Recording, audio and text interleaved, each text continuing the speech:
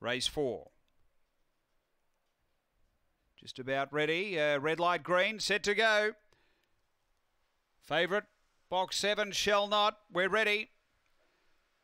Racing, Shell not away with them. Speed fantastic. Kiri now Shell not getting busy.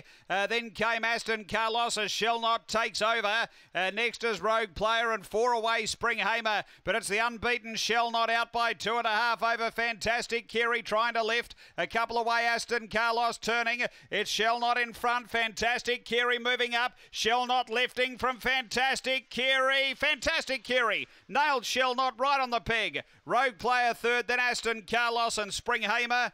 The time here is around 25 and 80 after race number four. And uh, too good here, right on the wire. Fantastic Kiri. Number three will uh, drive and win. Uh, seven, shall not second. That's his uh, first defeat. And third, going the way of one, uh, which is Rogue Player. So uh, it's three, seven, one. Six is fourth. 25.81 after uh, Murray Bridge, race four.